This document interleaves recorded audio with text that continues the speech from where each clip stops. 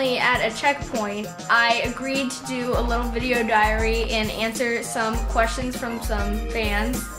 So first from Alina Alam in Richmond, Virginia. She says, who are your main competitors this Iditarod race? I would have to say probably like Aliy Zirkle, Martin Buser, Lance Mackey, Jeff King, my father, Mitch Seavey. There are many others that I can't exactly think of right now. Many competitors this year. My next question is from Mary Williams from Richmond, Virginia, and she says, how is your family? Well, that is that is very thoughtful of you. My wife Jen, she ran the Iditarod race one year. My kids, they're great um, at home in Alaska in my yurt by my kennel. My last question is from Nicole Mann from Arkansas and she asks how many dogs that I have for my team this year. Well, Nicole, go to iditarod.com and there you can find out a bunch of information about me and about other mushers. And also you can watch us live on the GPS tracker. The tracker is only like $20, which is a great deal, so you should definitely get it. Turns out that was not the last question. Decided to answer this question because I felt like it needed to be answered early on in the race. The question was, do you think you will win again this year? That would be awesome if I won this year. Then I could be the youngest person to ever win twice in a row. That's my answer to that question. So bye.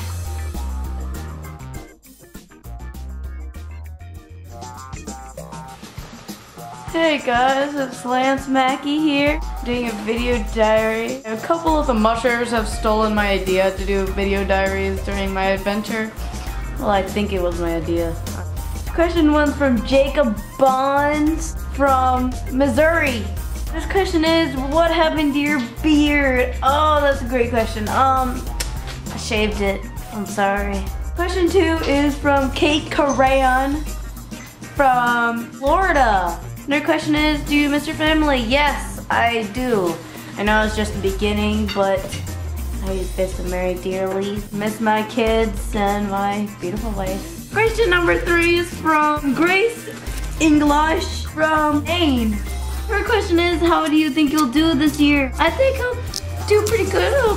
I, I um, my greatest run was when I won four times in a row. Last question is from Skylar Maiden from California. Where do you get your clothes? Um, yeah, I've really changed my style over the past couple years. And my hat is from some ski place.